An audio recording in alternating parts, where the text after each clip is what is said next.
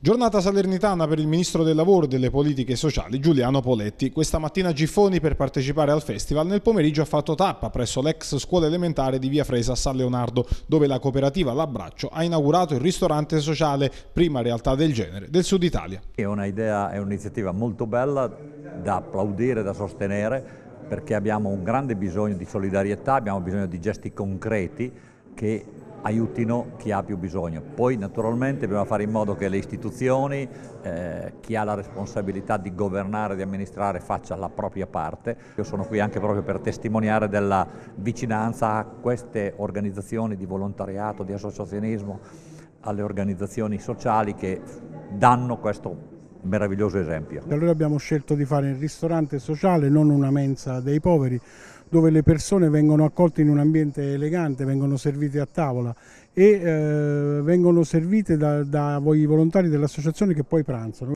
Eh, le cucine ci sono state donate un, con un finanziamento 8 per 1000 dalla Chiesa Valdese e tutto il resto da imprenditori locali che hanno messo a disposizione dell'associazione eh, materiali e personale qualificato. La tappa salernitana di Poletti è stata anche l'occasione per fare il punto sulla delicata situazione relativa alle fonderie Pisano. Il capo del Dicastero ha paragonato l'avvertenza salernitana all'Ilva, assicurando l'impegno del governo a trovare una soluzione che tuteli tutte le parti in causa è che quando si scontrano due principi essenziali, che sono la salute da un lato e il lavoro dall'altro, bisogna cercare delle vie che aiutino da una parte a tutelare la salute e dall'altra parte a tutelare il lavoro. Bisogna evitare che siano i lavoratori a subire il danno maggiore da situazioni di questo tipo, quindi noi lavoriamo sistematicamente con i tavoli del Ministero dello Sviluppo Economico per far sì che si cerchino queste soluzioni e si cerchi di limitare al minimo la sofferenza dei lavoratori.